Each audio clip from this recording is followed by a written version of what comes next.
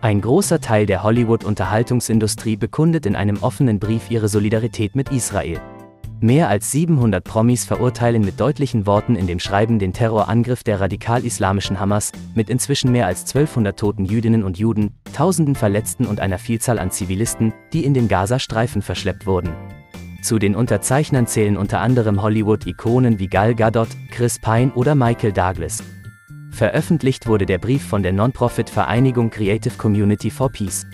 Darin werden unter anderem auch sämtliche Hollywood-Kollegen aufgerufen, sich energisch gegen die Hamas auszusprechen, Israel zu unterstützen, keine Fehlinformationen über den Krieg zu verbreiten und alles in ihrer Macht Stehende zu tun, um die Terrororganisation zur Rückkehr der unschuldigen Geiseln zu ihren Familien zu drängen. Die Organisation erklärt zudem, dass der Aufruf der erste seiner Art sei und sich unmissverständlich für Israel und gegen den Terrorismus der Hamas ausspreche. Zu den Taten der Hamas am vergangenen Samstag heißt es, das ist Terrorismus. Das ist böse. Es gibt keine Rechtfertigung oder Rationalisierung für die Aktionen der Hamas. Es seien barbarische Terrorakte, die von jedem angeprangert werden müssten. Die israelische Schauspielerin Gal Gadot kommt sogar persönlich in dem Statement zu Wort. Mein Herz schmerzt für die verlorenen Leben und die zerrütteten Familien. Ich bete für alle, die vom Terrorismus und der Brutalität der Hamas betroffen sind.